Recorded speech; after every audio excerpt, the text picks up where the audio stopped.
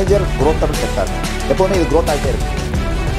Business பண்ணுறவங்களுக்கு எல்லாமே mostly அவங்க அடி வாங்குறது எங்கே அப்படின்னா எம்ப்ளாயிஸ் அந்த இடத்துல தான் நீங்கள் அடி வாங்குவீங்க.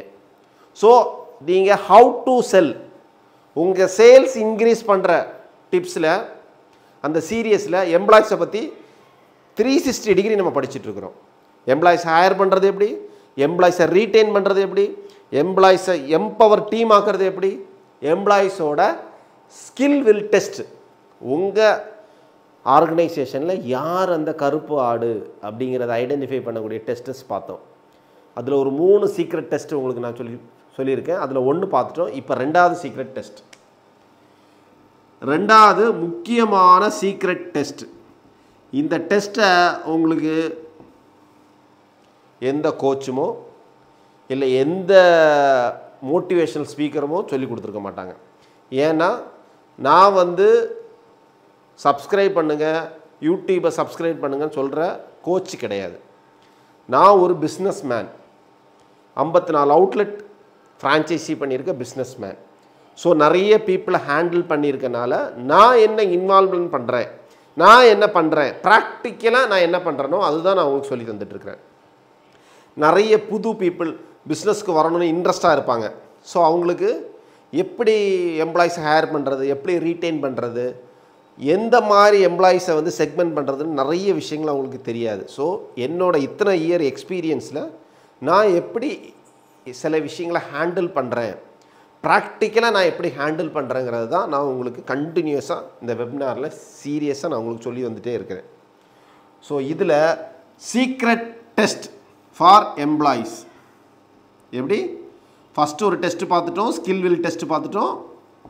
பார்க்காதவங்க ப்ரீவியஸ் வீடியோவில் போய் பாருங்கள் ஓகே ஃபஸ்ட்டு முக்கியமான ரொம்ப விஷயம் ஒன்று சொல்கிறேன் இங்கே சப்ஸ்கிரிப்ஷனோ சப்ஸ்கிரைப் பண்ணுங்களோ வியூ பண்ணுங்களோ அந்த அந்த இதுக்கே இல்லை நம்ம.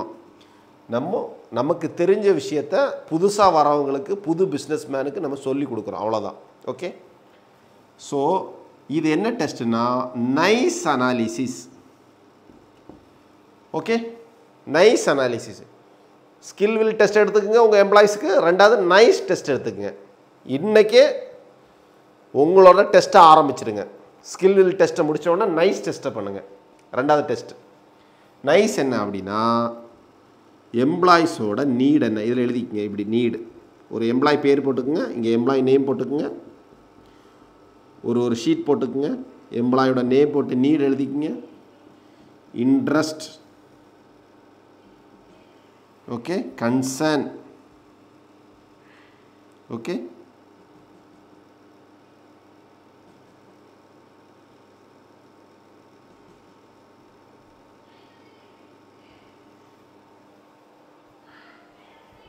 expectation. Expectation எப்படி? அடுத்தது என்ன பண்ணுறோம் எக்ஸ்பெக்டேஷன்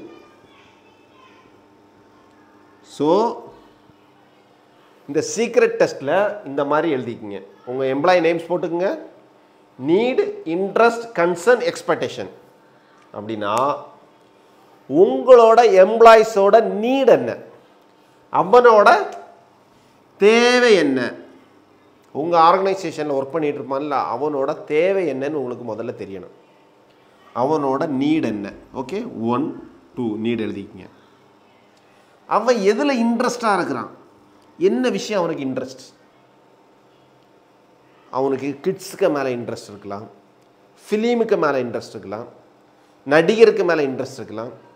ஃபுட்டுக்கு மேலே இன்ட்ரெஸ்ட் இருக்கலாம். டிவோஷனலாக இருக்கலாம். அவனோட இன்ட்ரெஸ்ட் என்ன? ஒன் டூ ரெண்டு இன்ட்ரெஸ்ட் ஓகே கன்சர்ன் அவனோட கன்சர்ன் என்ன? அவனோட கன்சர்ன் என்ன? அவனோட எக்ஸ்பெக்டேஷன் என்ன? அவன் இங்கே இருந்து என்ன பண்ணணும்னு எக்ஸ்பெக்ட் பண்ணுறான் அவன் என்ன நம்மக்கிட்ட இருந்து எக்ஸ்பெக்ட் பண்ணுறான் அவனோட எக்ஸ்பெக்டேஷன் ஃபேமிலி ஓரியன்ட் எக்ஸ்பெக்டேஷன் என்ன? நம்ம ப்ரொஃபஷனல் ஓரியன்ட் எக்ஸ்பெக்டேஷன் என்ன? ஓகே ஸோ இதை எப்படி நீங்கள் கண்டுபிடிப்பீங்க?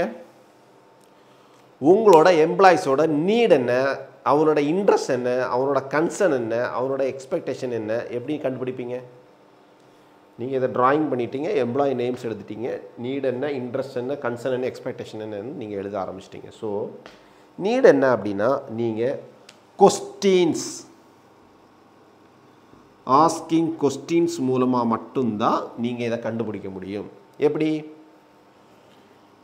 கொஸ்டின் நம்பர் ஒன் உனக்கு என்ன விஷன் இருக்குது நீ என்ன பண்ணணும்னு நினைக்கிற? இங்கேருந்து அஞ்சு வருஷத்தில் என்ன ஆகணும்னு நினைக்கிற? பத்து வருஷத்தில் என்ன ஆகணும்னு நினைக்கிற? உன்னோட ட்ரீம் என்ன? உனக்கு என்ன வாங்கணும் அப்படிங்கிற விஷயம் இருக்குது உன்னோட நீட் என்ன?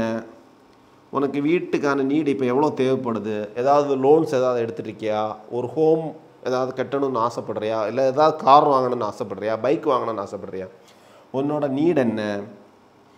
எதில் உனக்கு அவ்வளோ இன்ட்ரெஸ்ட்டாக இருக்குது? ரைடிங்கில் இன்ட்ரெஸ்ட் இருக்கா? இல்லை ஃபேமிலியோட டூர் போகிறதுல இன்ட்ரெஸ்ட் இருக்கா? ஃப்யூச்சரை ஃப்யூச்சரிஸ்டிக் கோல் நீ என்ன வச்சுருக்க? உன்னோட ஃப்யூச்சர் கோல் என்ன? இப்படிங்கிற நிறைய கொஸ்டினர்ஸ் இருக்குது ஸோ இந்த வெபினாருக்கு நம்ம சிம்பிளாக இந்த விஷயம் பார்த்துக்குவோம்.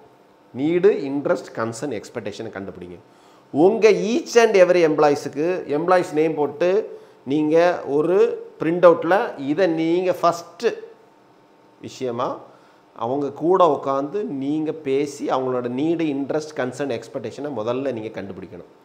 ஸோ நைஸ் அனாலிசிஸ் பண்ணுங்கள் உங்களோட எம்ப்ளாயிஸை ஸ்கில் வில் டெஸ்ட் பண்ணுறீங்க ரெண்டாவது நைஸ் அனாலிசிஸ் பண்ணுங்கள் இது எல்லா பிஸ்னஸ் மேனுக்குமே வேணும். இதை நீங்கள் பண்ணாமல் பிஸ்னஸ் பண்ணீங்க அவ்வளோ அவ்வளோதான். இதெல்லாம் தெரியாமல் இல்லை லாபம் மட்டும் வேணும் ப்ராஃபிட் மட்டும் வேணும் சேல்ஸ் மட்டும் இன்க்ரீஸ் ஆகணும்னு நீங்கள் பண்ணீங்கன்னா பேஸ்மெண்ட்டே உங்களுக்கு ஆடிடும் நீங்கள் என்ன பண்ணாலும் ஒரு பீரியடுக்கு அப்புறம் நீங்கள் அப்படியே அதால பாதையில் டீ க்ரோத்தில் போவீங்க எம்ப்ளாய்மெண்ட்டோட பேஸை நீங்கள் தெரியாமல் இங்கே ஒரு ஆணியுமே நீங்கள் ஒன்றுமே ஒரு ஆணி கூட நீங்கள் பிடுங்க முடியாது. ஸோ ஃபஸ்ட்டு தெரிய வேண்டியது உங்களோட எம்ப்ளாயோட மைண்ட் செட்டை தெரியணும். அவனோட ஸ்கில் வில் தெரியணும். அவனோட நீடு இன்ட்ரெஸ்ட் கன்சர்னை தெரியணும். இதை நீங்கள் எழுதி கொஸ்டின் ரீஸ் கேளுங்கள் உன்னோட விஷன் என்னப்பா? உன்னோட கோல் என்னப்பா? நீ ஏன் உனக்கு என்ன தேவை? என்ன இப்போ எமர்ஜென்சி நீட் இருக்குது உன்னோட இன்ட்ரெஸ்ட் என்ன?